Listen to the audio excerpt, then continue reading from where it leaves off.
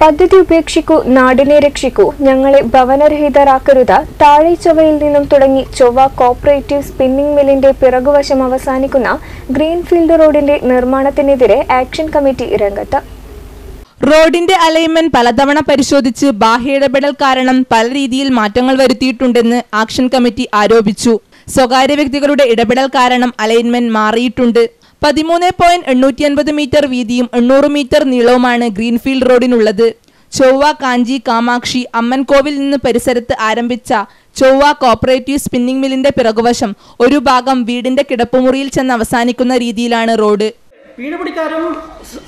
പറയുന്നത് വെച്ചാൽ ഈ റോഡ് വന്നു കഴിഞ്ഞാൽ താഴേച്ച മുതൽ കണ്ണൂർ വരെയുള്ള എല്ലാ ട്രാഫിക് ജാമും തീരുന്നതാണ്. പക്ഷെ വളരെ ആശ്ചര്യമായൊരു പ്രസ്താവനയാണത്. കാരണം പിഴപിടി എഞ്ചിനീയർ എഴുത്തത്തിരിക്കും ഞങ്ങൾക്ക്. ഈ റോഡ് വന്നു കഴിഞ്ഞാൽ എല്ലാ ട്രാഫിക്കും ഇങ്ങോട്ട് വഴിതിരിച്ചു വിടും. പക്ഷെ വഴിതിരിച്ച് എങ്ങോട്ടാണ് വിടുന്നത്?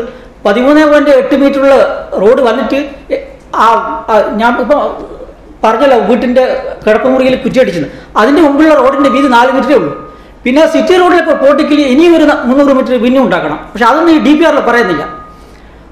ഇനി ഈ നാല് മീറ്റർ അവിടെയുണ്ട് കുറച്ച് കൂടുതലാകുമ്പോൾ മൂന്ന് മീറ്ററേ ഉള്ളൂ. അപ്പോൾ രണ്ട് ബസ്സിന് വണ്ടി വന്നു കഴിഞ്ഞാൽ അത് ട്രാഫിക് ജാം നേരെ തിരിച്ചാവും. പദ്ധതിയെക്കുറിച്ച് അധികാരികൾ നാട്ടുകാരുമായോ പരിസരവാസികളുമായോ ഒരു ചർച്ചയും ഇതുവരെ നടത്തിയിട്ടില്ല. നിലവിൽ നാനൂറ് കോടി രൂപ ചെലവിൽ സിറ്റി റോഡ് ഇംപ്രൂവ്മെന്റ് പദ്ധതിക്ക് കേരള സർക്കാർ അനുമതി നൽകിയിട്ടുണ്ട്. ഈ പദ്ധതിക്ക് ഭരണാനുമതി ആയിക്കഴിഞ്ഞു പിന്നെ എന്തിനാണ് വലിയൊരു തുക ചെലവഴിച്ച് ജനങ്ങളുടെ കിടപ്പാടം നഷ്ടപ്പെടുത്തി ഇങ്ങനെയൊരു റോഡ് എന്ന് ആക്ഷൻ കമ്മിറ്റി ചോദിക്കുന്നു.